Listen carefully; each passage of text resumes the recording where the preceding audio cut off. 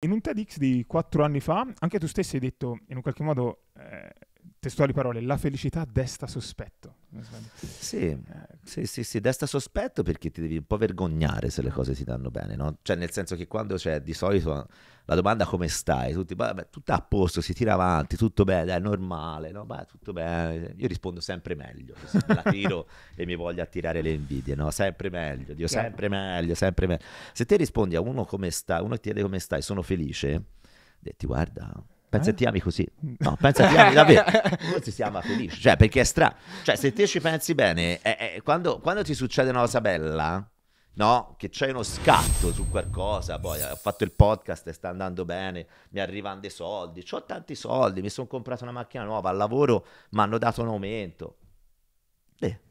Come mai? Che c'è dietro? Che c'è eh, allora, di solito si torna a casa e c'è sempre una donna, che in questo caso vedi come in molti casi sono molto più lungimiranti, se te c'è una compagna, una fidanzata, una moglie, quando ti succede una cosa bella ti, ti dice zitto, non lo dia a nessuno.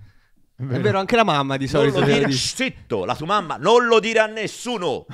ha ragione, perché in effetti per un meccanismo di fisica entropica interessante, forse l'entropia del sistema nervoso fa sì che se mi succede una cosa bella a me, ti gira le palle.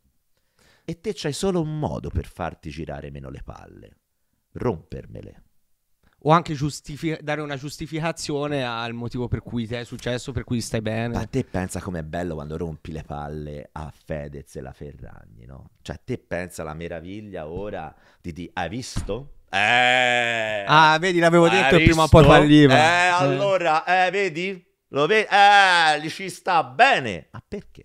Vabbè, si torna al discorso quando una volta è in cima, poi... Pam. Sì, ma in base a quale logica? Ma che eh, ma problemi è... c'hai?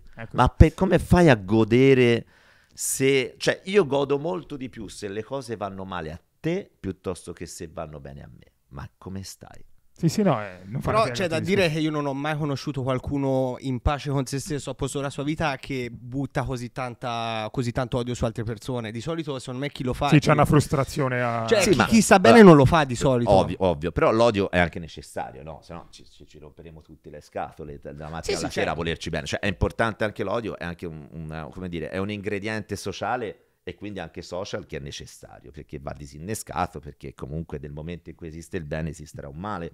Cioè ce lo insegna la religione cattolica e guerre stellari. È uguale. Però voglio dire eh, ci sono anche delle formule no? cioè non è che possiamo sempre dare più valore al male perché sennò diventiamo tutti dei voyeuristi, dei invidiosi e che, che, che bazzicano nel, nell'ombra e che sguazzano nel torbido. Invece poi non è così perché noi viviamo in un paese che io, io, lo, io lo, giro tanto, veramente, faccio spettacolo in giro per tutta Italia, ma l'Italia non è, non è così, non è così. L'Italia è, è un posto, è fatto è pieno di persone per benissimo, persone, non, io non penso che sia un paese razzista, non penso che sia un paese eh, ma, ma, come il pericolo fascismo, ma zero, ma, cioè l'Italia, se te vai in autogrill, è un posto stupendo, dove mangi benissimo, dove incontri tanta gente, dove se te vai eh, eh, a, a, Vercelli come a, a, Bolzano, vai a Pachino, vai a Catania, a Trapani, cioè se te hai fame, trovi qualcuno e ti dà da mangiare, non succede in tutte le parti del mondo questo.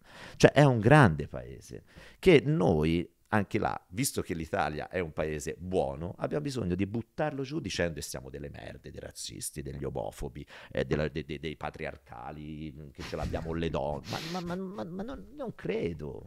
Non è credo. Vero, credo, come diceva il proverbio, de, è vero, fa molto più rumore un albero che cade di una foresta che cresce. Ma ogni tanto però, Dio buono, quella foresta che cresce, guardala, perché se no se senti solo gli alberi che cadono e vivi male, eh. È vero.